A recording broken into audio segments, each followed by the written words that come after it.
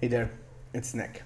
So today was the big day of my first immersion, uh, my first dive, sorry, and uh, we did it at the local lakeside, and it was fantastic.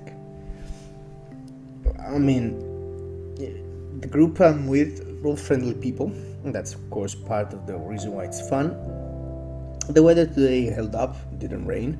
It wasn't beautiful, but who cares? Honestly, you're underwater, so fuck it and holy shit diving is so fun.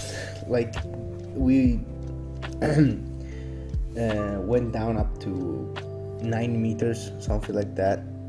And i was like can i can i go deeper? Please let me go deeper. They let, didn't let me of course but that's fine. I knew it wasn't gonna be that easy. Hopefully next mer- uh, dives are gonna be uh, deeper ones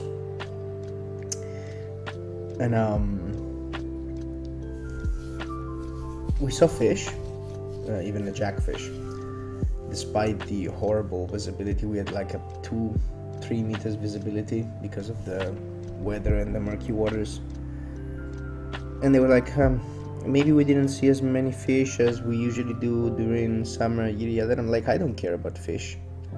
I don't care about it. I just care about being underwater right now. That's all I want to do. I wanted to uh, swim faster underwater, you know, like the sort of a fat mermaid, maybe a triton.